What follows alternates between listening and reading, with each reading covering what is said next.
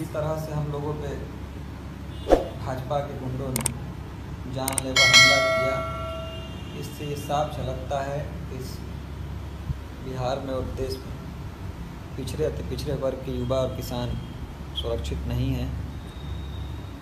हम पे हमला हुआ हमें इसकी चिंता नहीं है।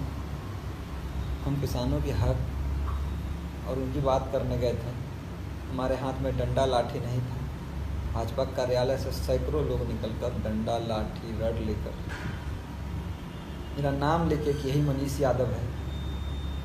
और अन्य लोगों का नाम लेकर मारने लगे, जिससे साफ़ हमें लगता है कि एक साजिश थी और उनकी मानसिकता झलकती है।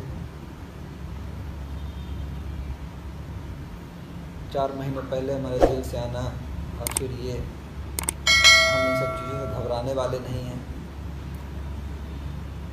किसानों का जो बिल है, जिस तरह से इन्होंने पास करवाया है, हम उसके विरोध में आगे भी लड़ेंगे।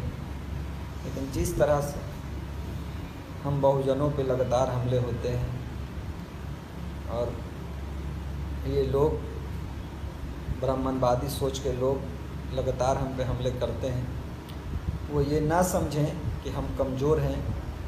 इसका जवाब जल्द देंगे।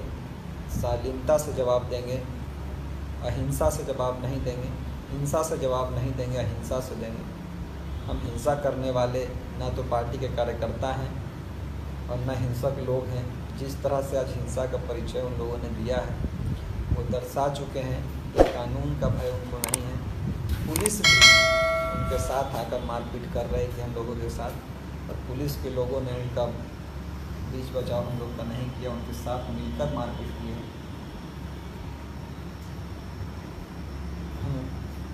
लगातार, हम हमारे कार्यकर्ता, हमारे जो गार्जियन है, रामचंद्र यादव जो, वो भी घायल हुए हैं पीएमसीएच में।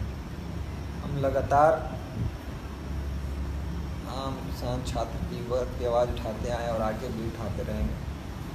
लेकिन बहुजन कमज़ोर नहीं है, फिर हम एक बार कह रहे हैं, बहुजनों को जिस तरह से पीटा जा रहा है ये कहीं से सहने लायक नहीं है और भाजपा के गुंडों को, ब्राह्मणवादी सोच के लोगों को, संविधान विरोधी सोच के लोगों को जवाब बहुत जल्द मिलेगा।